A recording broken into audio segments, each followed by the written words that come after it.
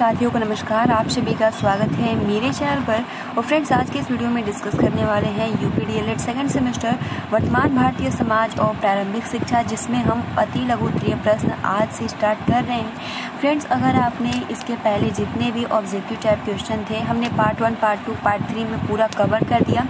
जो कि डेढ़ सौ से ज़्यादा क्वेश्चन थे, ठीक है? और उसी में से आपके क्वेश्चन पूछे जाएँगे।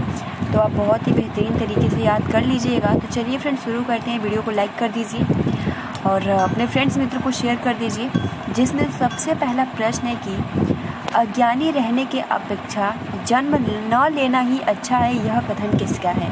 ये जो कथन ये प्लेटो का है, ठीक है? इन्होंने जो स्टेटमेंट दिया है, बहुत ही मतलब इन्होंने बोला है कि अगर आप जन्म लेते हो तो शिक्षा लेना बहुत ज़रूरी है। अगर आप अज्ञानी रह जाते हो तो इससे अच्छा होता है कि जन्म नहीं, जन्म ही नहीं लेते आप। तो यहाँ पर जो स्टेटमेंट दिया है, ये प्लेटो ने दिया है। अगला जो प्रश्न है कि महर्षि वेद व्यास ने शिक्षा के विषय में क्या कहा है?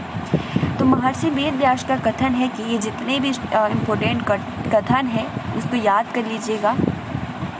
महर्षि वेद व्यास ने शिक्षा के विषय में क्या स्टेटमेंट दिया? इन्होंने जो स्टेटमेंट दिया है कि ज्ञान, यानी शिक्षा जीवन के सत्य का दिग्दर्शन ही नहीं करता, बल्कि वह व्यक्ति को बोलना, चलना, व्यवहार करना भी सिखाता है। यानी महर्षि वेद अभी प्लेटो के अनुसार देखा।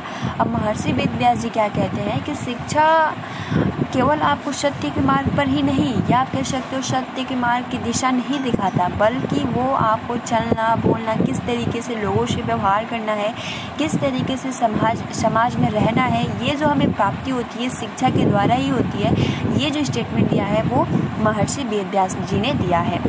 अगला जो क्वेश्चन है कि शिक्षा शास्त्री टी रेमंड के अनुसार शिक्षा की परिभाषा क्या है? तो यहाँ पर जो रेमेंड जी हैं, इनके अनुसार शिक्षा की जो परिभाषा होती है, शिक्षा विकास का वह क्रम है जो बाल्यावस्था से परिपक्व अवस्था तक चलता है, जिसमें मनुष्य अपने आवश्यकता अनुसार धीरे धीरे भौतिक, सामाजिक और आध्यात्मिक वातावरण के अनुकूल बना लेता है। यानी, सबसे पहले हमने प्लेटो का देखा, फिर ब्यास जी का देखा अब रेमंड जी कहते हैं कि जो शिक्षा है, ठीक है, शिक्षा का जो प्रक्रिया है या आप कह सकते हो जो विकास का क्रम है, ये बाल्यावस्था से लेकर परिपक्व अवस्था तक चलता रहता है, जिसमें एक व्यक्ति अपने आवश्यकता अनुसार धीरे धीरे जो भी उसकी आवश्यकता पड़ती है, भौतिक, सामाजिक, ठीक है, आध्यात्मिक वातावरण में अपने आप को अपने आप को उसमें ढाल, ढालने की कोशिश करता है या उसके, उस वातावरण के अनुकूल बनाता है। ये जो स्टेटमेंट है, ये रेमंड जी का है। तो तीन हमने स्टेटमेंट देखा और पहला, प्लेटो के अनुसार, प्लेटो ने क्या बोला है कि अज्ञान होना जो है, जन्म लेने से, आप कह सकते हो कि उन्होंने सिंपल अगर हम कहें, उन्होंने बोला कि अगर आप जन्म लेते हो तो शिक्षित होना चाहिए अगर आप अज्ञानी हो तो आपको जन्म ही नहीं लेना चाहिए। तो ये जो किसका किसके अनुसार है? तो प्लेटो के अनुसार है। उसी प्रकार से व्यास जी क्या जो व्यास जी हैं, उनके अनुसार शिक्षा की परिभाषा ये है कि शिक्षा आपको सत्य का दिग्दर्शन ही नहीं करता, बल्कि एक व्यक्ति को बोलना, चलना, किस तरीके से आप समाज में रह सकते हो, उसके बारे में सिखाता है। फिर रेमंड जी आए, उन्होंने क्या स्टेटमेंट दिया? उन्होंने ये बोला कि जो शिक्षा का एक जो क्रमबद्ध जो होता है, बाल्यावस्था से कह सकते हो, परिपक्व अवस्था तक चलता रहता है। जिसमें एक व्यक्ति अपनी आवश्यकता अनुसार जो भी उसकी ज़रूरत है, ठीक है, जो भी उसका जैसा वातावरण है, उसी के अनुसार वो अपने आप को ढालता है या उसी के अनुकूल बनने का प्रयास करता है। तो आई होप ये तीनों स्टेटमेंट और बहुत ही सिंपल लैंग्वेज में हमने आप सभी को बता दिया, ठीक है, ताकि आप सभी को याद हो जाए। क्लियर अब देखिए, अगला जो क्वेश्चन है कि शिक्षा के उद्देश्य की क्या आवश्यकता है? यानी शिक्षा की उद्देश्य की आवश्यकता क्या है? क्योंकि फ्रेंड्स अगर एजुकेशन का एम्स ही नहीं रहेगा तो फिर क्या? अगर आप शिक्षा ग्रहण कर रहे हो तो इसका एक एम्स है कि हाँ आप टीचर बनोगे। जब तक एक उद्देश्य नहीं रहता है एम्स नहीं होता है, तब तक आप प्रयास उसमें कह सकते हो, ध्यानपूर्वक नहीं करते हो। ठीक है? तो यहाँ पर शिक्षा का उद्देश्य पूछा है। शिक्षा का उद्देश्य की क्या आवश्यकता है? तो उद्देश्य क्या है? एक पूर्व दर्शित लक्ष्य है। यानी आपको पहले ही दर्शा दिया जाता है या आप कह सकते हो कि। आपको पहले ही ये आपके मन में भाव उत्पन्न हो जाना चाहिए कि हाँ मैं ऐसा बन सकता हूँ और मैं ऐसा बनने का प्रयास ज़रूर करूँगा। तो ये क्या है? ये उद्देश्य है, एक पूर्वदर्शित लक्ष्य है जो किसी क्रिया को संचालित करता है अथवा व्यवहार को प्रेरित करता है। अगला जो क्वेश्चन है कि स्वस्थ मनुष्य में स्वस्थ मस्तिष्क का ही निर्माण हो सकता है, यह जो कथन है, और आई होप कि आप सभी को याद भी होगा, और मुझे पता है कि कंफर्म है कि आप सभी को याद भी होगा। ठीक है, यहाँ पर ये जो स्टेटमेंट है, अरस्तु जी का है। अगला जो क्वेश्चन है कि ज्ञान ही स्वर्ग तक उड़ान में पंखों का आधार है, यह कथन किसका देखिए, ये शेक्सपियर जी का कथन है। शेक्सपियर ने क्या बोला है कि, अगर आपके पास ज्ञान है, ठीक है तो आप स्वर्ग की तरफ़ जा सकते हो और अगर आपके पास ज्ञान नहीं है तो आप कह सकते हो कि स्वर्ग का दूसरा क्या होता है? उसी में आप जाओगे। तो इस तरीके से अगर आप रिलेट करते हो तो शेक्सपियर महोदय जी हैं, उनका कहना है कि अगर आपके पास ज्ञान है तो आप स्वर्ग तक की उड़ान में पंखों का आधार है। क्या? तो अगर आप स्वर्ग में जाना चाहते हो तो उसका बेस क्या होता है? तो ज्ञान ही होता है। और जो ये स्टेटमेंट दिया है, किसने दिया है? तो शेक्सपियर ने दिया है। अगला क्वेश्चन है कि, शरीर, मस्तिष्क और आत्मा, इन तीनों का उचित और सामंजस्यपूर्ण मिश्रण, देखिए, क्या है? शरीर, मस्तिष्क और आत्मा। ठीक? शरीर, मस्तिष्क और आत्मा। क्योंकि अगर ये एक व्यक्ति में तीनों ही नहीं रहेंगे तो व्यक्ति कहाँ से कहाँ जाएगा और वो सजीव कैसे होगा? तो शरीर, मस्तिष्क और आत्मा, इन तीनों का उचित सामंजस्यपूर्ण मिश्रण, पूर्ण मनुष्य के निर्माण के लिए आवश्यक है और शिक्षा की सच्ची व्यवस्था का आधार है। क्या? तो शरीर, मस्तिष्क और आत्मा, जब तक इन तीनों का बहुत ही अच्छे ढंग से, सामंजस्यपूर्ण मिश्रण नहीं हो सकता तब तक एक कह सकते हो कि एक पूर्ण मनुष्य जो है अभी प्रिपेयर नहीं है। तो ये तीनों का होना बहुत ज़्यादा शामिल, बहुत ज़्यादा अहम रोल होता है। ठीक है तो ये जो स्टेटमेंट दिया है, ये किसने कहा है तो एमजी यानी महात्मा गांधी जी ने बोला है। तो ये भी आप सभी को याद हो गया होगा। अगला जो क्वेश्चन है कि शिक्षा के व्यक्तिक उद्देश्य का संकुचित अर्थ क्या है? व्यक्तिक मतलब क्या होता है? अपना आत्म अभिव्यक्ति ठीक है? व्यक्तिक होता है, एक सामूहिक होता है। तो सामूहिक मतलब बहुत सारे लोग, व्यक्तिक मतलब केवल और केवल आप, ठीक? तो शिक्षा के व्यक्तिक उद्देश्य का संकुचित अर्थ क्या है? इसका जो अर्थ हो जाता है आत्म अभिव्यक्ति या यानी आत्म अभिव्यक्ति मतलब क्या होता है? देखिए अभिव्यक्ति मतलब क्या होता है?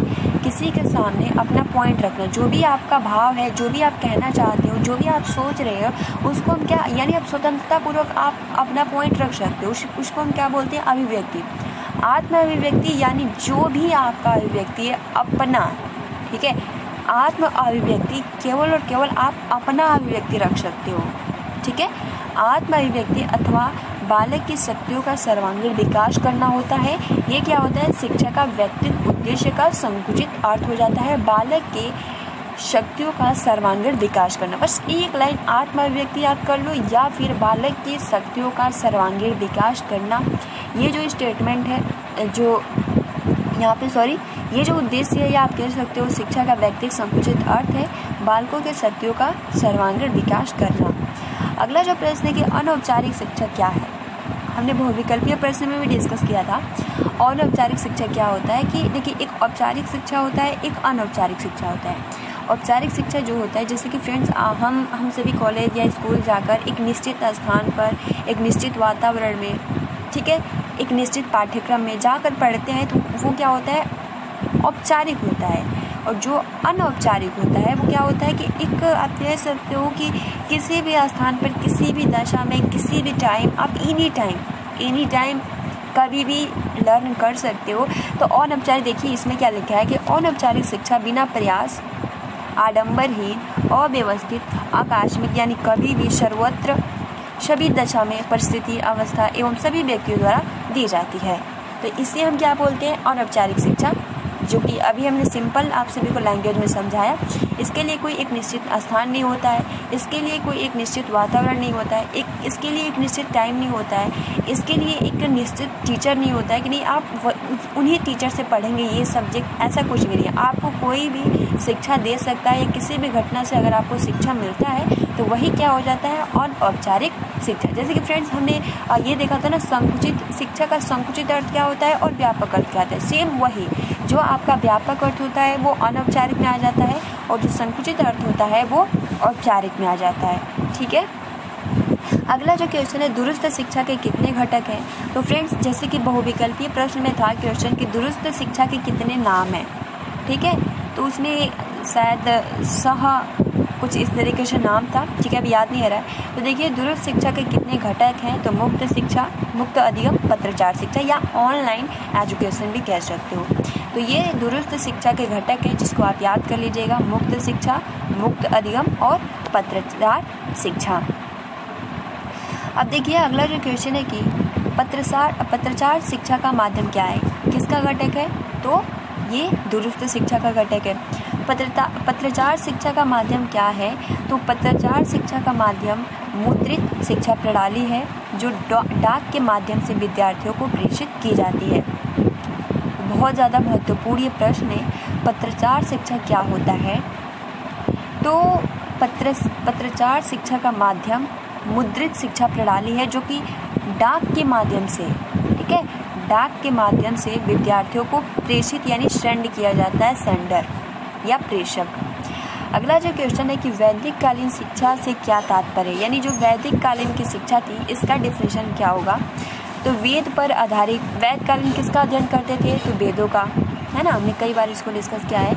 तो वैदिक कालीन शिक्षा से क्या तात्पर्य है? तो वेद पर आधारित शिक्षा या गुरु के घर या कुल में प्राप्त की जाने वाली शिक्षा जो थी, वो वैदिक कालीन शिक्षा।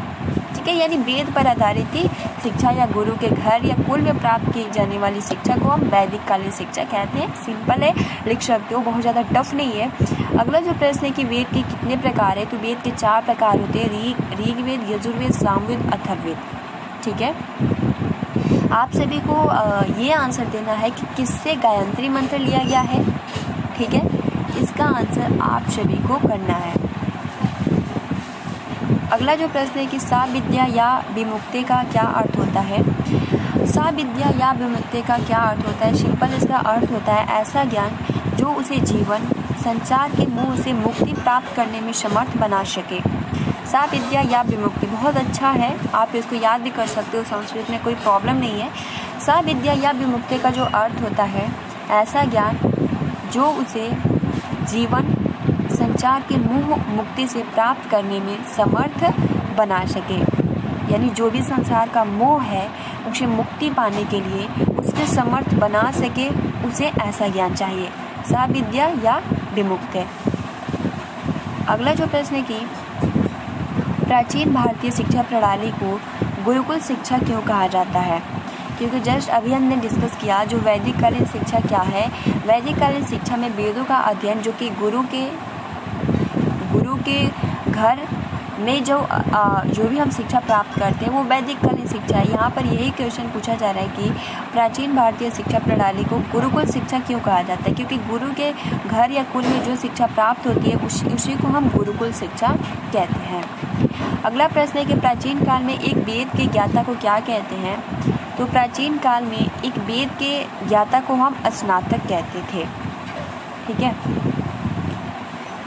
अगला जो क्वेश्चन है, प्राचीन काल में दो वेद दो वेद की ज्ञाता को क्या कहते बहुत ज़्यादा महत्वपूर्ण ये प्रश्न देखिए, आप सभी को स्नातक याद रखना है वशु याद रखना है, रुद्र याद रखना है और आदित्य। ये अगर पाँचों याद कर लेंगे तो बहुत ज़्यादा महत्वपूर्ण है, क्योंकि इससे रिलेट करके प्रश्न आते हैं। देखिए, अगर कोई एक वेद का ज्ञाता हो जाता है, ठीक है, एक वेद एक वेद का ज्ञाता हो जाता है तो उसको हम स्नातक कहते हैं। दो वेद का ज्ञाता हो जाता है तो उसको हम वशु कहते हैं। तीन वेद का ज्ञाता हो जाता है तो उसको हम रुद्र कहते हैं। चार वेद का ज्ञाता हो जाता है तो उसको हम आदित्य कहते हैं।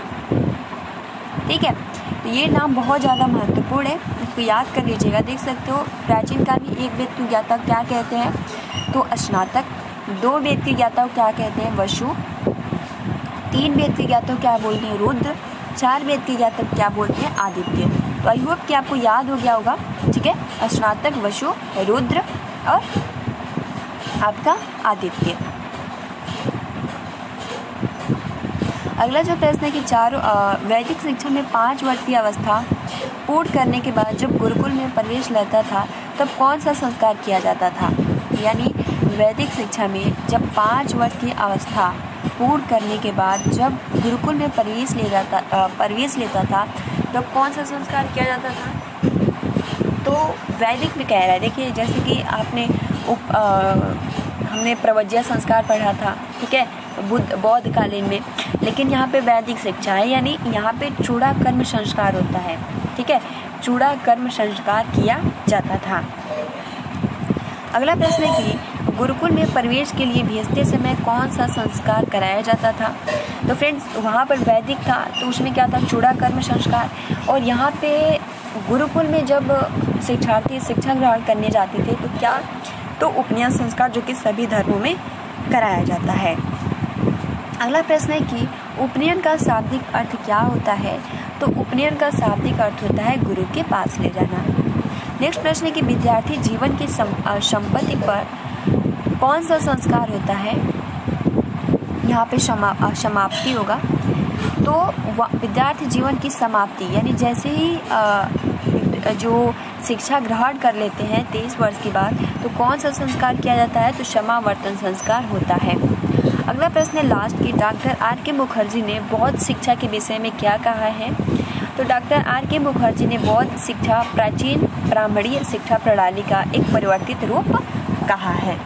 तो फ्रेंड्स ये जितने भी आपके क्वेश्चन थे आई होप कि आपको याद हो गए होंगे। चलिए, अब आप सभी के साथ एक क्वेश्चन पूछते हैं, ये दो क्वेश्चन पूछते हैं। ये स्टेटमेंट किसका है कि शिक्षा से शिक्षा से केवल आप, या आप कह सकते हो, आपको दिशा या मार्गदर्शन ही नहीं मिलता, बल्कि बोलने, चलने और समाज में रहने की भी किस तरीके से रहा जाता है, इसके बारे में भी ज्ञान प्राप्त होता है, ये किसका स्टेटमेंट है?